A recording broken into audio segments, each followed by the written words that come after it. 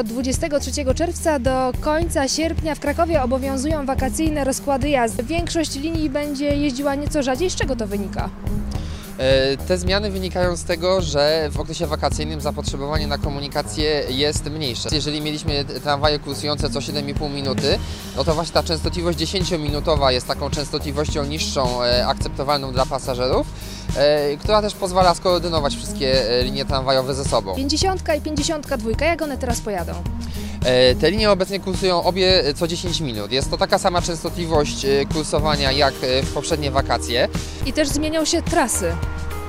E, Tak, zmieniła się trasa linii 50. Jest to związane z przebudową pętli w Kurdwanowie, gdzie obecnie nie ma wjazdu na pętlę. Tramwaje muszą e, zmieniać kierunek jazdy przed nią e, i mogą kursować tam tylko i wyłącznie e, tramwaje dwukierunkowe z kabinami po obu stronach. Tramwaj przejeżdża e, specjalną przejazdówką na drugi tor przeciwny. E, W Krakowie mamy ponad 20 takich właśnie tramwajów dwukierunkowych. Gdyby nie takich tramwajów nie było w ogóle, e, całą trasę do Kurdwanowa trzeba byłoby zamknąć. Większość osób e, korzystających tam z tramwajów może w dalszym ciągu korzystać z połączeń e, bezpośrednich.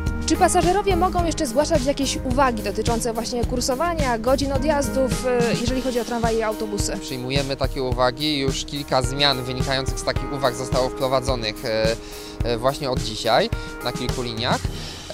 Dlatego jak najbardziej, jeżeli rzeczywiście ktoś ma problem z dojazdem, z przesiadką, zwłaszcza w tych godzinach wczesnoporannych, późnowieczornych, to jak najbardziej takie wnioski będą rozpatrywane.